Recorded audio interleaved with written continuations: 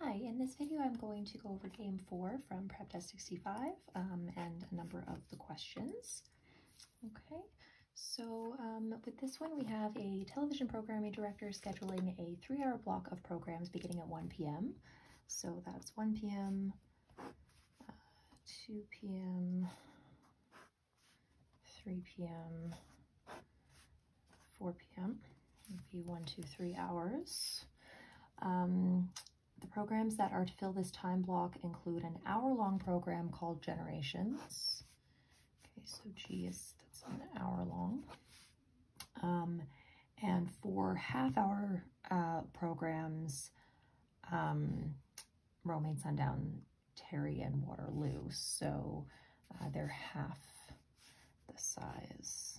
So uh, roaming, sundown, And Waterloo. Cool. Um, the programs will be shown one after the other, each program shown exactly once. The schedule must meet with the following constraints. Generation starts on the hour rather than the half hour. So we could have generation starting at one, generation starting at two, or generation starting at three. Okay.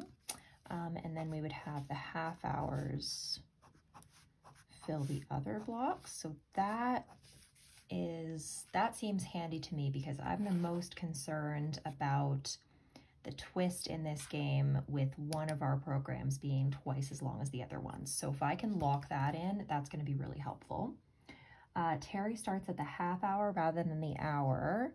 So, I mean, it would only create three more scenarios if I were to do that. So this would be G, G, G. Uh, sorry, T starts on the half hour, so T there or there, T here or here, and T here or here. Um, I'm going to go ahead and use some colors just to make this a little easier to read, to kind of see what I'm doing.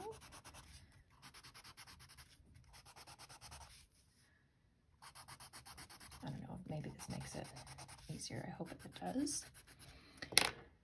Um, okay, and then R is shown earlier than S. Well, that I'm not going to be able to write in quite yet. Um, if W is earlier than Terry, it's shown immediately before Terry. So, yeah, W, W, W, okay, that makes sense. But here, if W is before, which it is, it has to be because T is last, it would be immediately before. Here, immediately before. And then, what is it? R is before, same here, immediately before. Uh, R is earlier than S, yeah.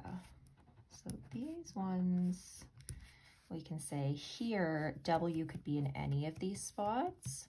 Um, so W would be kind of wild in these scenarios and R would be before S. So that would give us all of the options, um, which is not a bad place to start with this game. Uh, we only have five players. We get really clear uh, division with the most problematic player. Um, and then again, quite clear division with another player.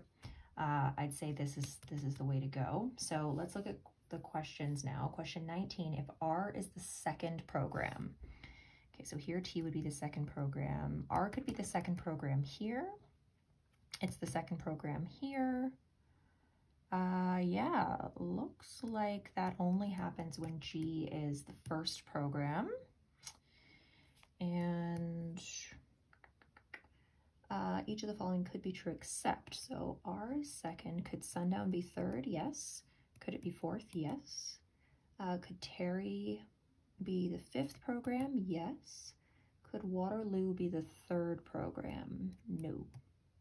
Could Waterloo be the fifth program? Yep here it could be. So D is the correct answer for question 19. 21, Generations is the third program. So that's this scenario here where it starts at 2 o'clock. Um, so the third program doesn't start at 3. The third program either starts at 2 o'clock, as it would be here, or it starts at 2.30, like in this scenario. So if G is third, one, two, three, then which one of the following could be true? Uh, roaming is second. Nope, not going to happen. Uh, roaming is fifth. No, roaming can never be fifth because it has to be before sundown. Sundown is fourth. So here could sundown be fourth? We could have R, S, W. Yep. So C for 21. 22, which one of the following cannot be true? Uh, sundown immediately before generations. Nope, we have an example of that. That's possible. Um, B, Waterloo is showed immediately before roaming. Uh, I think that one's going to be a problem, right? Yep, can't make that happen. So B, 422 because generations right before sundown isn't an issue. That could happen here. Uh, R shown immediately before T could happen here or here or here. Um, T immediately before W could happen here or here. Uh, yeah, so it has to be B. 23, we have a substitution question. All right, so we are um, substituting for the rule that gave us our structure in the first place. Um, A, generations isn't shown immediately before Terry. Now that does have to be true.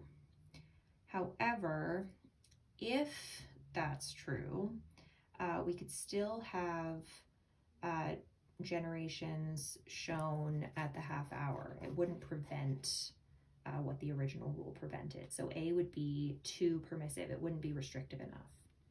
B, generations is either the first program or the fifth. Mm, generations could be the third program. So this one um, is not true. Um, it's not restrictive enough. Um, it would be uh, too permissive, but it also would be oh, sorry, this one isn't too permissive. This one is too restrictive. Sorry, so A is too permissive, B is too restrictive. Um, it doesn't pass the must be true test, so it doesn't have to be true. So C, generations is neither second nor fourth. That does it, right? Generations is first, third, or fifth, not second or fourth. Yeah, C would be a perfect substitution.